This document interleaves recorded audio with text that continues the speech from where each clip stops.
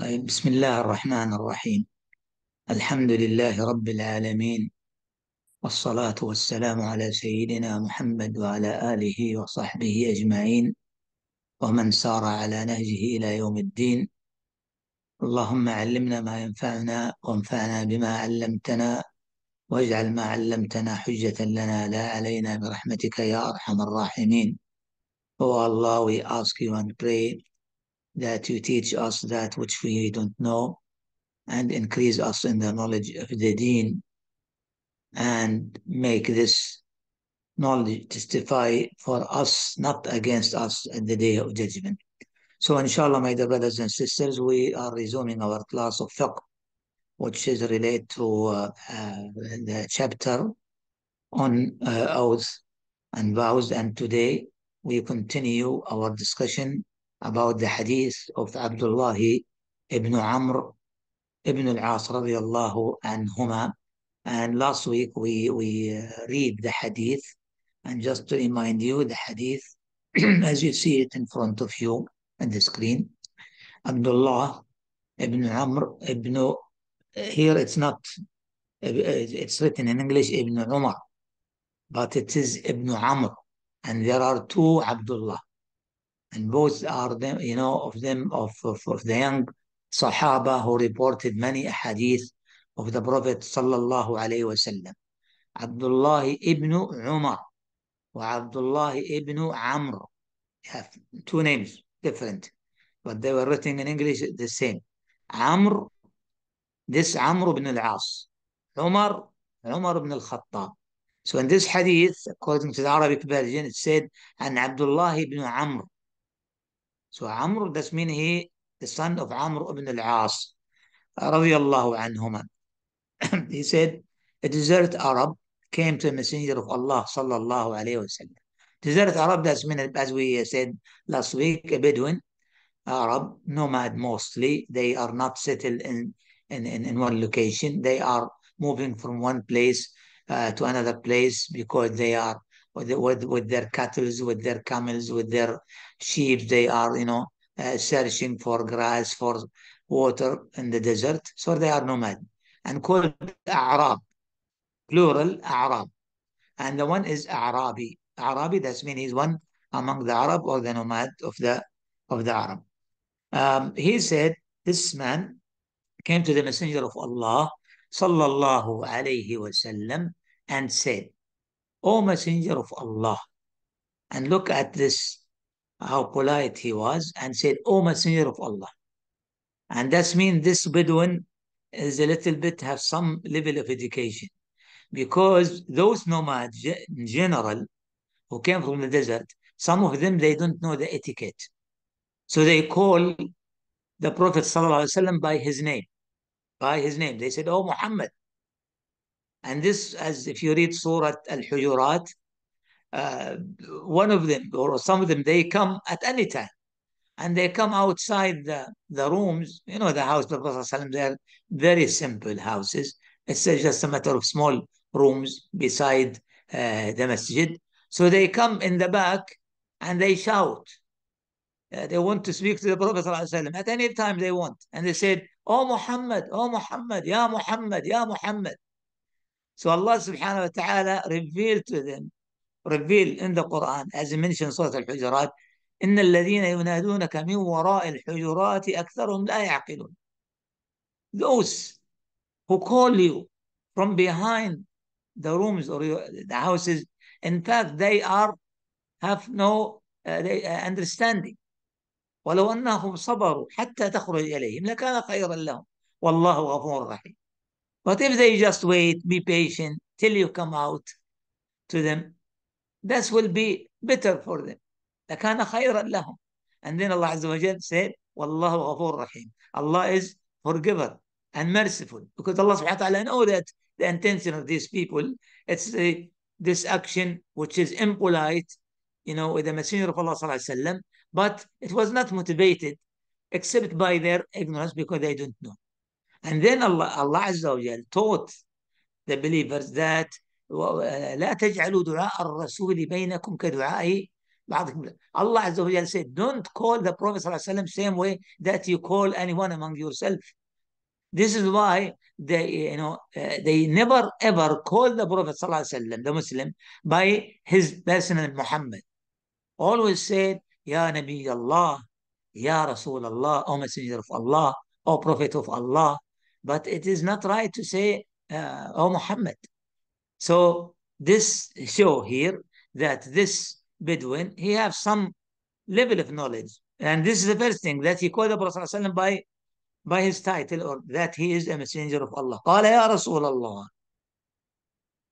What are the most serious sins? Which mean major sin. This is another indication that this person have a level of knowledge. Why? Because when he said ask about the major sin, that's mean he have a knowledge background that sins are not at the same level. Some of them are major and some are small.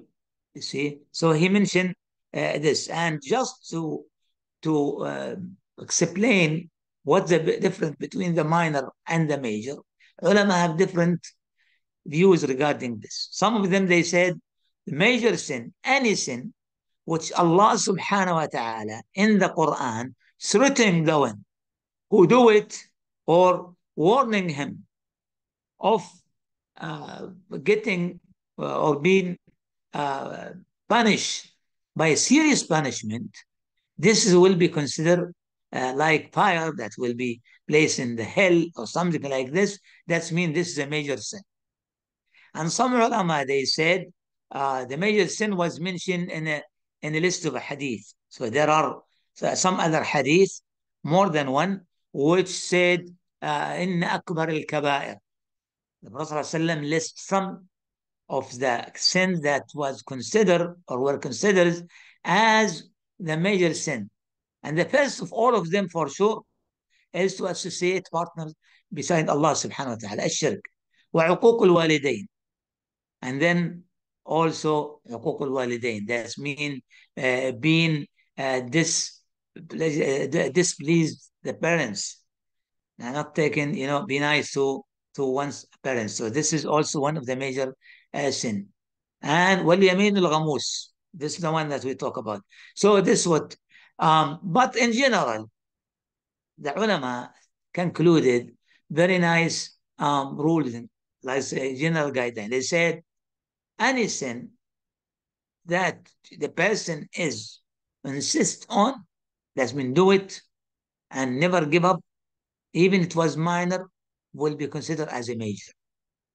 And then any sin which is a major, if the person repented to Allah Azza wa Jal, give up, seek forgiveness, Allah Azza wa Jal is very merciful and forgiver. Therefore, my dear brothers and sisters, the qaida said, or this ruling said, لا صغيرة مع الإصرار ولا كبيرة مع الاستغفار. لا صغيرة, لا صغيرة, that's mean no minor sin, uh, مع الإصرار with persistence. You know, the person who, who insists to do it again and again and again, never give up.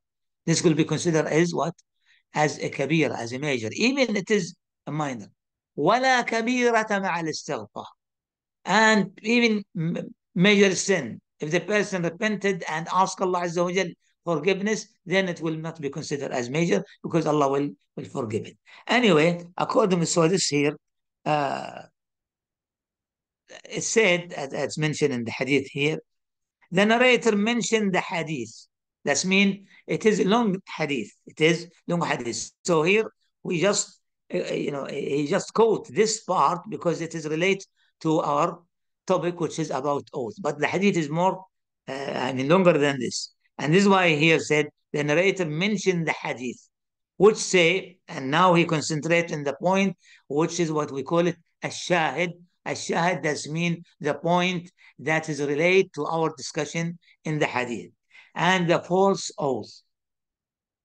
And then he said, ask, I asked Ibn Amr, what is the false oath? That's when Ibn Umar asked the Prophet said, what is the false oath, O Prophet of Allah? The Messenger of Allah وسلم, reply, it is that, now the Prophet وسلم, given what? Definition.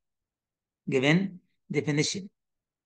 Definition of the, uh, explaining the meaning of the Yamin Ghamus. And he said, it is that by which one takes the property of another Muslim and he is lying about it. That's mean the lying oath, the lying swearing to deceive someone, you know, and be injustice uh, to him. So this is why called Yamin Ghamus. And the, the, the Yamin Ghamus or the Ghamus oath, it is uh, it could be understood and if you translate it to English, it is like deceitful oath, deceitful oath. Why? Because this one, the person who say it, he wants to deceive the other party to take his right. But if we took it in the in the in the sense of the language or the linguistic in the Arabic, from the verb ghamasa, and ghamus is a name or a noun.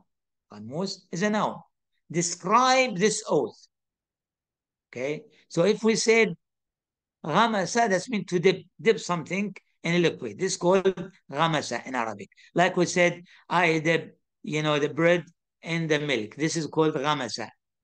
And some some people they call this, uh, you know, uh, for any any type of liquid, in like milk, for example, or buttermilk, uh, they call it uh, ghamus. That's means something that that's used to be, you know, dip something in it. Um, so ghamus, that's mean dipping.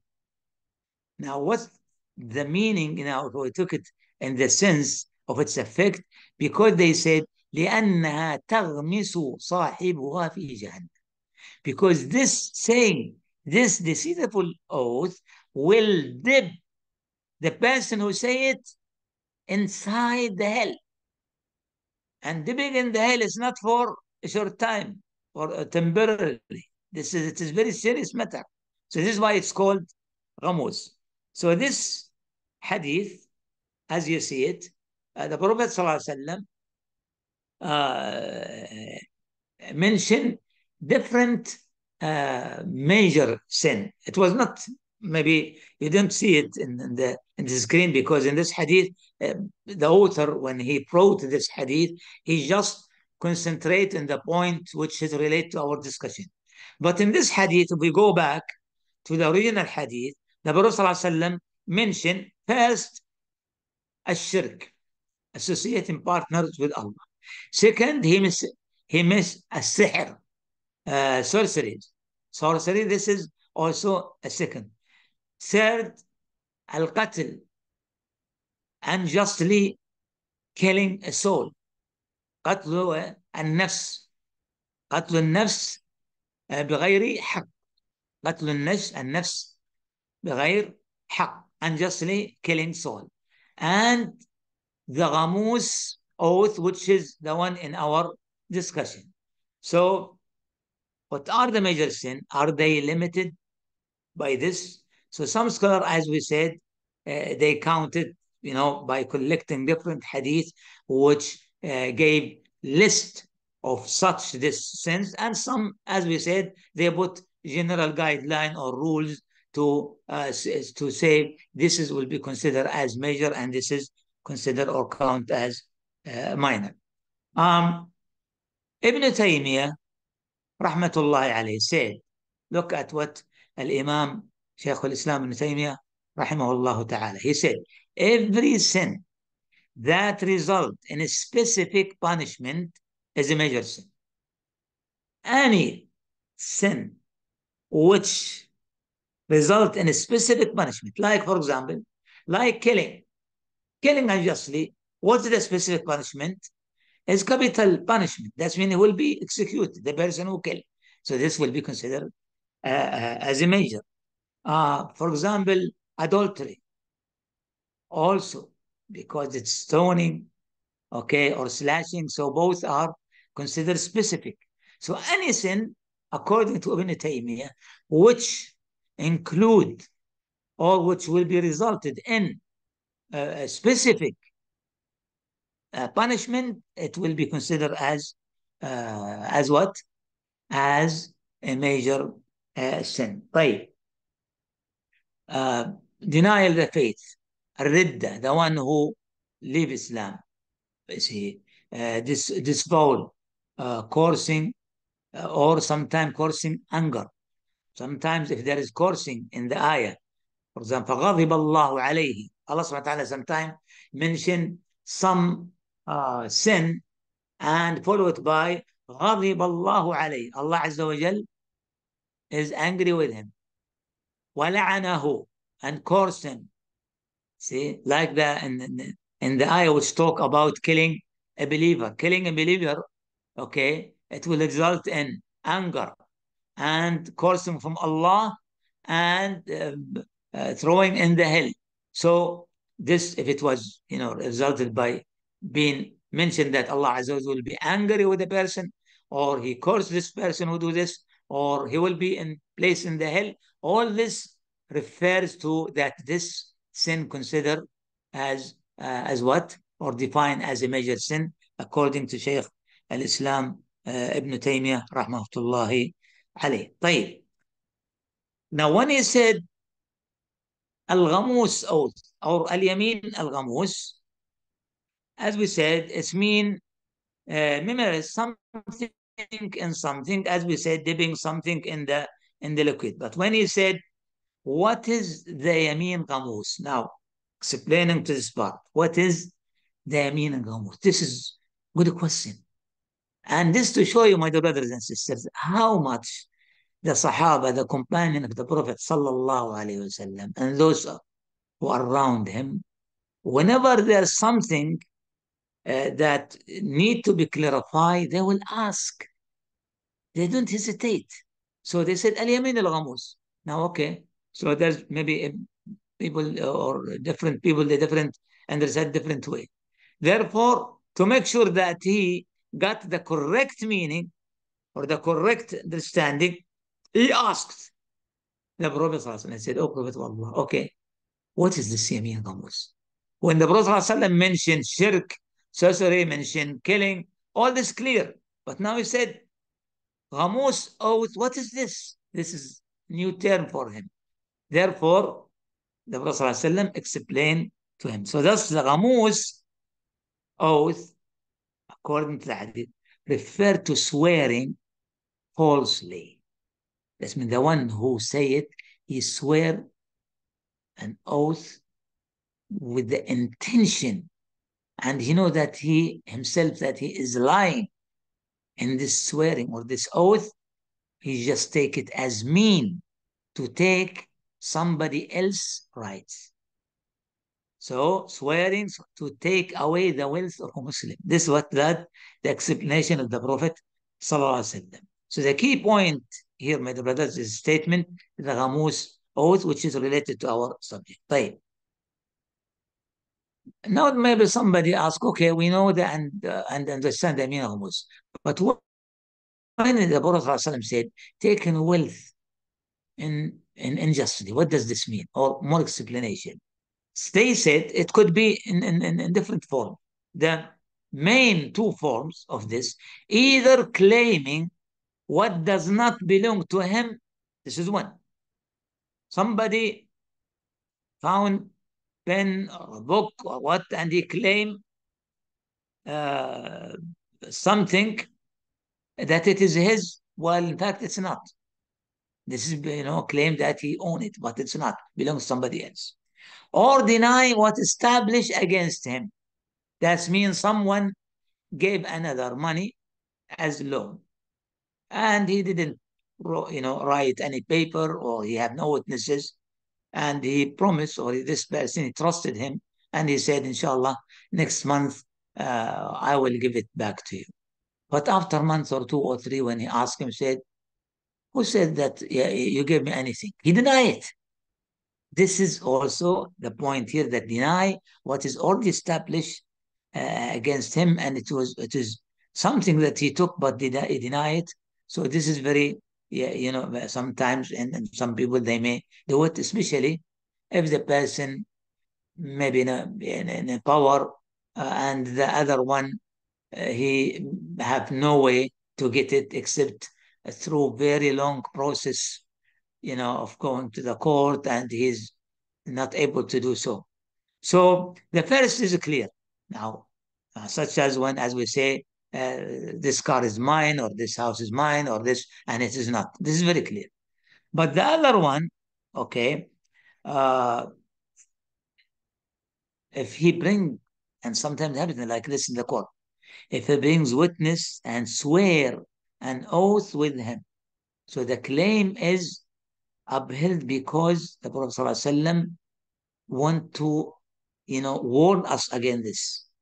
And sometimes, unfortunately, these people who don't fear Allah subhanahu wa ta'ala, they don't care, you know, to use different means just to get somebody else rights or to deny the rights, you know, the rights uh, that they have. And it will be more worse if he brought some witnesses. And those witnesses called in Islam uh, Shahid Zur. Shahid Zur. A liar witness. And this is also, it is very one of the major sin. This is one of the major sin because this is a part of the uh, denying someone else.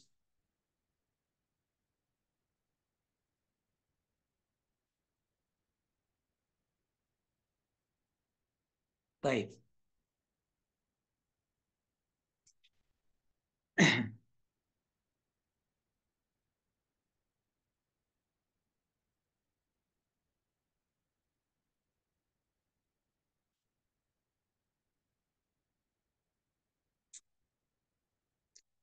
Um, the second is from denying is what do to him, such as when someone say, you owe me uh, 100 riyals, and he reply, no, then swear that he doesn't uh, owe him anything. So in this case also, uh, consider as what?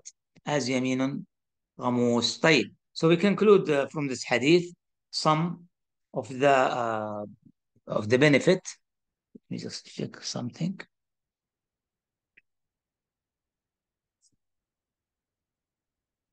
Uh,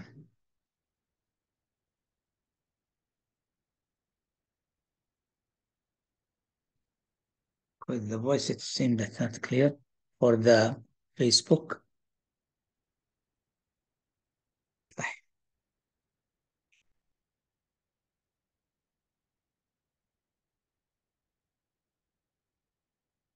طيب, some of the benefit uh, that we uh, learned from this uh, hadith. The first one is the eagerness of the Sahaba, radwanullahi alayhim, uh, to ask the Prophet sallallahu alayhi wasallam uh, question related to the deen. And this is what we said that always it is must. I mean, for the Muslim, that he should ask if he doesn't know, especially in a matter of deen. Don't be shy to ask. Don't be shy to ask. La haya fi deen. Okay, don't be shy. There's no shyness to you know uh, to ask something which is relate to your uh, religion, uh, and this is why uh, even, even the women of the Sahaba, the women among at the time of the Prophet sometimes they ask questions which is maybe women will be, you know, will not say it in front of men, but because they want to learn. This is why, my dear brothers and sisters, we always say, don't hesitate, don't be shy uh, to ask, because it is better to know that you think that you know and and you don't know. So this is an example, okay. As second, we know that from this hadith that sins are is not the same, all in the same uh, level. There are major and there are uh, minor, as we, we, we mentioned. Third, the Ghamus oath is one of the major sin that involve taking the wealth of Muslim. However, if the oath does not take away the wealth, but still falls, isn't still considered as as Ghamus.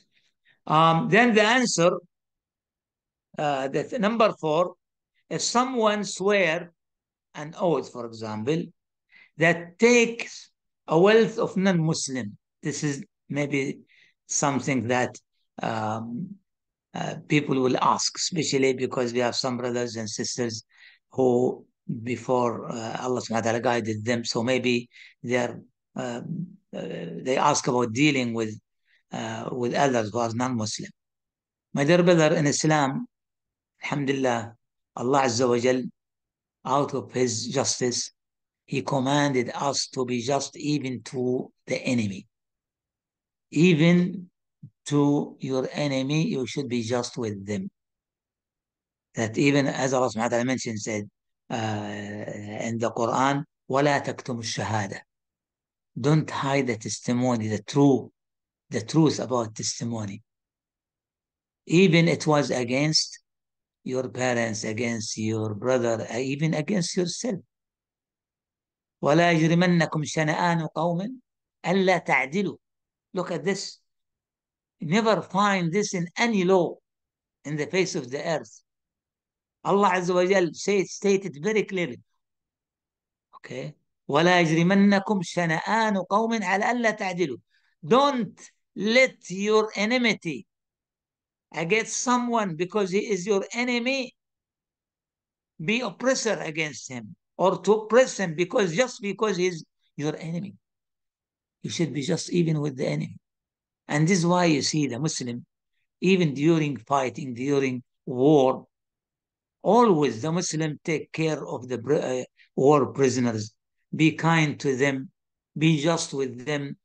Why? Because Allah commanded us to be just with others, even our enemy. Right. And this is why if someone swear uh, an oath, taken one non-Muslim, this is also considered as ghamus. This is haram.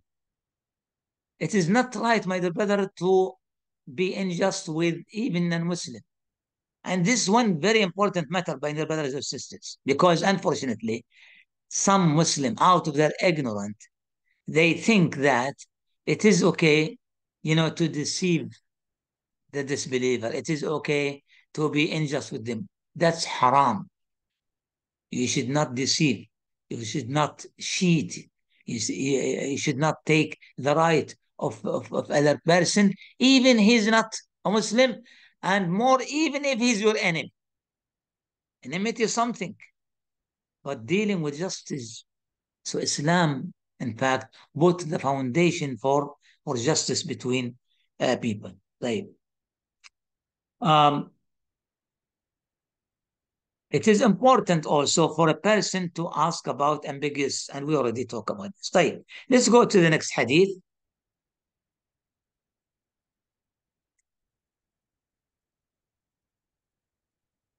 وعن عائشة رضي الله عنها في قوله تعالى لا يؤاخذكم الله باللغو في أيمانكم قالت هو قول الرجل لا لا والله وبلا والله أخرجه الإمام البخاري ورواه أبو داود مرفوعا. عائشة رضي الله عنها narrated uh, narrated regarding the verse the ayah Quran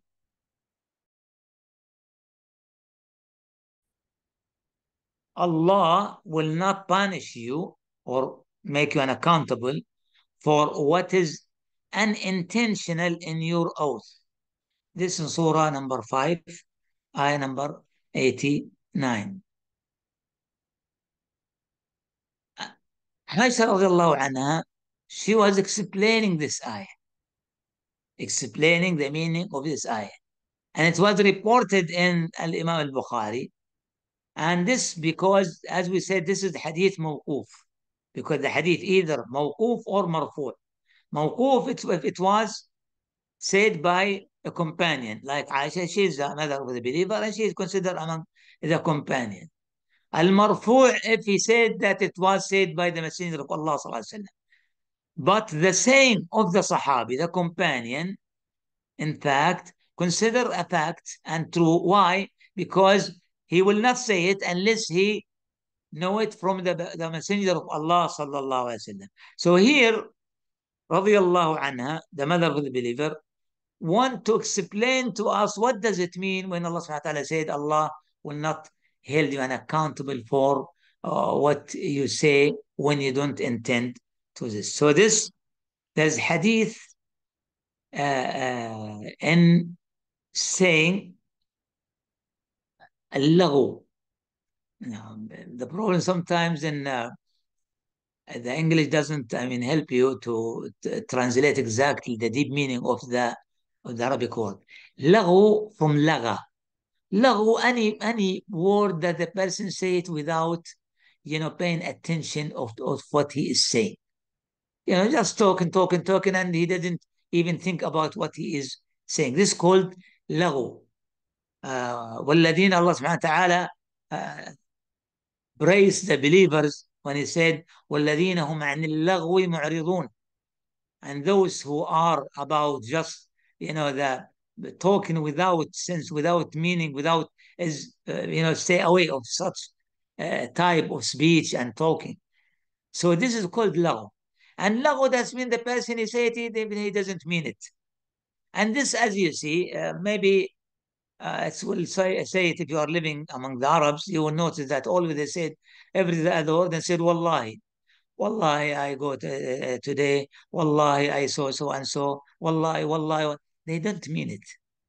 Okay? But it's like a word that's coming, they used to say it. So this considered as lahu because the person is not, doesn't mean to.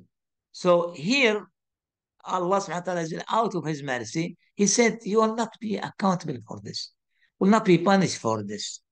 But in, that doesn't mean the person continues saying it. No, it is better, it is highly recommended. In fact, we were commanded to keep our ayman.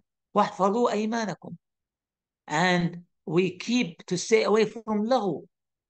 Therefore, you know, uh, it is not recommended. But in case it's happened, and then Allah Azza wa said, ولكن يؤاخذكم بما عقدتم من أيمان. Allah Azza wa will, will, will hold you accountable for something or the oath that you say and you did mean it by the intention to say it. Then you will be responsible and will be accountable for uh, for this. So the laghu in fact refer to made without intention to swear, or just slip out of the tongue, as we say, just say say by God, by my Lord, by Allah, by any any type of word. So from this we understand that there is must be an intention to make an oath. It's have to be an intention. And if something is said without intent, one is not held accountable for it. Can this be extended? Uh, for instance, where something is said without intention when swearing by other than Allah? The parent answer or the parent answer is yes. Maybe somebody said, okay, that's mean if I swear by other than Allah without, uh, then it's okay. No, always, always, even this word that's come without intention, always be careful that the Muslim never ever swear except with the name of Allah. Right. Does this apply to someone, for example, who has divorce? Why we mention this? Because many people, they, they uh, especially among the Arabs, they use the word divorce as a form of an oath, as a form of swearing. For example, a person he invites his guest, and you know the Arab in general are generous, and they love guests to, to get into their homes. So he said, "You just arrived from a long uh, journey, so tfaddal, come have a dinner with us."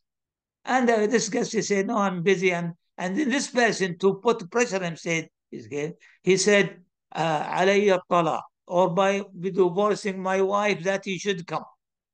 This is this is not right. This is some of the bad habit that should not be practiced. But I'm just give you example from uh, what's happening. This is why the ulama, because this became common in some certain communities, the ulama address this issue. And then the question is, is this, that means it's like an oath that if this person, the guest, he didn't come in, will uh, the wife of this person who want uh, who show hospitality you know and to show hospitality to this guest. That means his wife his poor wife will be divorced. So this is the issue here. The ulama consider this as yamin an oath. It's not a divorce. So even if he use it it will not be divorce his wife. This is the sound view regarding this. But it is very important to show that some sometimes people they practice certain things, in fact, which is not right. Because of what? Because of the influence of the custom, the influence of the social life or rules or traditions. And this is why the Muslim always should stick to the Sharia, stick to the teaching, and be sure that whatever he is doing or whatever he is saying, even word that's come from his mouth, it should be in the pleasant of Allah subhanahu wa ta'ala, not divorce. طيب, I think uh, this is very clear regarding this hadith. And the next hadith, we just read it very quickly. عن أبو أبي هريرة رضي الله عنه قال قال رسول الله صلى الله عليه وسلم إن لله تسعة وتسعين اسما من أحصاها دخل الجنة متفق عليه طيب أبو هريرة رضي الله عنه narrated that Allah's Messenger sallallahu alayhi wasallam said, Allah has 99 names. He who retains them in his memory will enter paradise. And this hadith is agreed upon. We're not going to talk in detail about this hadith. I just want to clarify here one thing.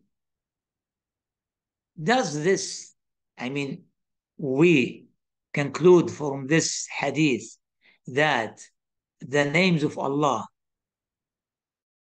all his names, all 99 names? No, it's not. But maybe the hadith is saying that who count 99. But there are some names of Allah with why the other hadith explain this by saying هذا دعاء السيد اللهم إني أسألك بكل اسم هو لك. أو الله اي اسك يو وذ افري نيم belong تو يو كل اسم هو لك. سميت به نفسك that you call yourself with it. أو أنزلته في كتابك. أو you reveal it in your book. أو استأثرت به في علم الغيب عندك. Or something that you didn't names that we don't know about it you didn't reveal us about it so from this hadith you know that there, the, the names and the attributes of Allah is more than than this so just this an explanation so when he said He's saying, indeed, Allah, etc. So Allah is exalted, as it's mentioned in the hadith, in Allah أحد Allah فرد Allah inna Allah witrun wa yuhibbul witr. Witr, as we mentioned before, means odd, odd number. This called witr, odd number. And he loves witr. Wa yuhibbul witr, and he loves odd.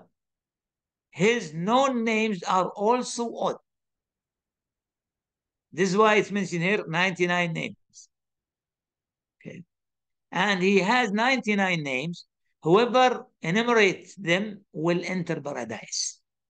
So these names are uh, obscure, and the wisdom behind their obscurity is to encourage people to strive for knowledge of them it's not just a matter, my dear brothers and sisters, and a, a, list of names that the person, you know, said, okay, Allah, Al-Hakim, Al-Alim, Al-Rahim, Al-Sami' Al-Basir, Al-Wasi' Al-Muqit. No, no.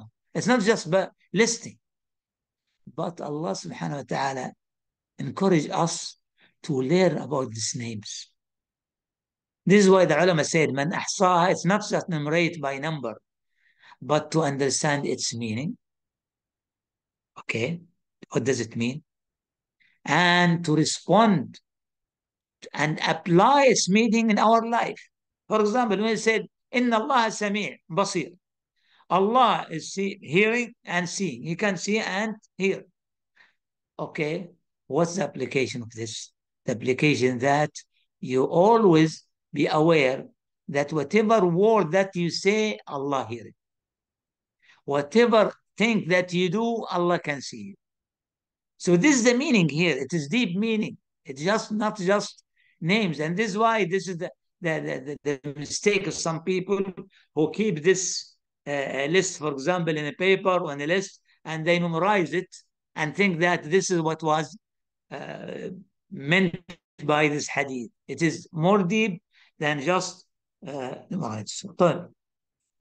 Um, so uh,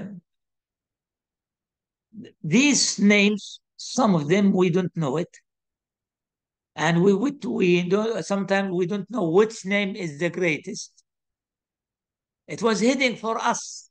Why? So you can try all of them. You can use all of them. Like for example, Laylatul Qadr. Laylatul Qadr خير من ألف شهر. This great night that praying in one night is equal as praying for 83 years. And then we don't know which night is this. But the Prophet ﷺ gave us the span of time. It will be in the last 10 nights of Ramadan. In the last uh, odd number of the nights, the last nights of Ramadan. Why? So the Muslim spend, okay, and strive hard to do more good deeds in this time and whatever good deed that you do, even it's very tiny, you remember that it is, alhamdulillah, it will be countable for him, Will not be lost. So it is blessing from Allah subhanahu wa ta'ala that he didn't, if he said it's one night, so people they will pray that night. About the other night, maybe you'll not find anybody in the masjid except few. But when it's, you see how much people in the last 10 nights, mashallah, uh, praying in it. Why? Searching for night. The same thing for the name of Allah. So here is the Muslims strive hard to search and learn and understand and try to respond to these names by applying these names in his life. In this way, he elevate himself in the knowledge of knowing Allah subhanahu wa ta'ala more. And when it's said, whoever enumerated, as the ulama said, what does enumeration here? So some ulama say enumeration means to encompass the number. This is that what the essence that we see it. Uh, but as we mentioned, it is more deep than this, and because of the salah, uh, it is already uh, 7.40. We'll stop here, inshallah. We'll continue about this hadith because we didn't talk even about uh, the lesson that we learned from this hadith. I leave some time for you, uh, for your uh, question, brothers. If you have any question related to what we said, جزاكم الله خير وبارك الله نعم.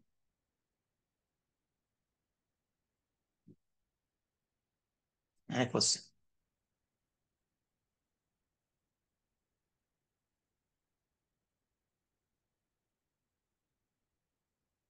Okay. So no question, yeah, Sarah? Assalamu alaikum wa rahmatullah. Nan Dr. Yahya from the chat box. So see you inshallah uh, next week in our tafsir class on Saturday. Barakallah fikum and next uh, Sunday inshallah may Allah Azza wa give us all a good life uh, and may Allah subhanahu wa ta'ala shower us all with his mercy and increase us in the knowledge of the deen. Barakallah fikum. Wassalamu alaikum wa rahmatullahi wa barakatuh.